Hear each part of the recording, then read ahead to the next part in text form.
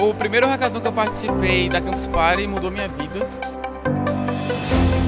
Um dos jurados estava presente lá, ele é dono de uma empresa lá dos Estados Unidos. E eles estavam construindo esse projeto nos Estados Unidos. Durante o hackathon, eu, acabei construindo um protótipo que era o que eles estavam trabalhando lá com o time deles. A gente acabou vencendo o hackathon da Campus Party de 2016. Eu comecei a trocar e-mail, fiz estágio na empresa, fui contratado. Depois a empresa pediu para eu chamar uns amigos meus talentosos.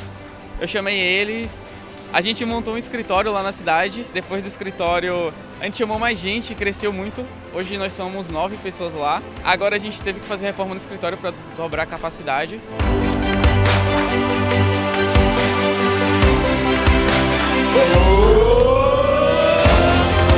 Quando um campuseiro, quando um participante do evento ele se inscreve numa hackathon, a gente cria um ambiente para ele onde ele se sinta participante de algo que vai gerar um benefício. Então por isso que os hackathons dentro da campus, elas são fundamentais. É uma jornada de transformação para o participante, onde a gente devolve para a sociedade algum tipo de melhoria.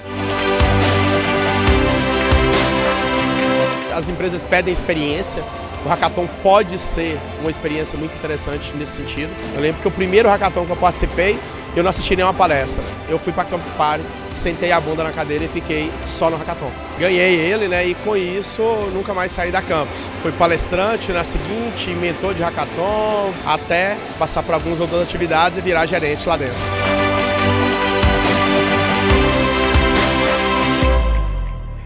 Transformação digital, transformação de mindset, transformação de pensamento. Então, fica aqui o meu convite para você participar de um dos hackathons da Campus Party.